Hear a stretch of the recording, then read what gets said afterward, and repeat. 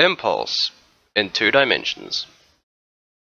By now you have seen plenty of situations where something was moving along with a certain momentum. For example, I have this funky race car and if I drive very fast in it, I will have a large momentum. You should be aware that momentum is a vector, which means its direction matters. Now an impulse is a change in momentum. How do you change the momentum of a car? You go faster. Because momentum is mass times velocity, an increase in velocity corresponds to an increase in momentum. The final minus initial momentum gives you the impulse that acts. Because momentum is a vector, impulse is also described by a vector. It is found by subtracting the initial momentum from the final, so you have to subtract two vectors to find it. How do we subtract vectors again?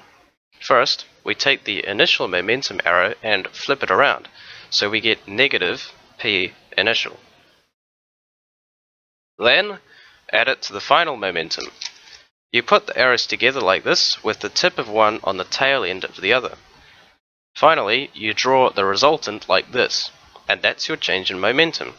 Just remember, impulse still has units. It's measured in Newton seconds or kilogram meters per second. Let's look at an example. Consider a ball bouncing off a flat wooden table.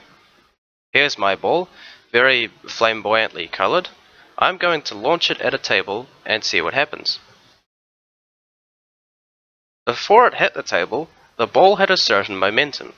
Let's say that immediately after it bounces, the ball has the same uh, size of momentum but in a different direction. By the way, bouncy balls don't always behave like this in real life. This diagram is an approximation, similar to what you may get in an exam question. If you take those momentum vectors and subtract them, you find a large impulse on the ball. Notice the direction, it's straight up at right angles to the surface of the table. This makes sense because the impulse is proportional to the reaction force that pushes the ball back up. Of course, it's the table itself that provides that force. Again, this kind of ideal situation is typical of an exam-style question on momentum. If you recall Newton's laws, the third law says that forces always come in pairs. There is an equal and opposite force from the ball on the table, which is directed downward. Here's something for you to think about. If the same size of force acts on both objects, why doesn't the table start bouncing around like the ball does? Anyway, I hope you found this presentation helpful in your study of impulse. Thanks for watching.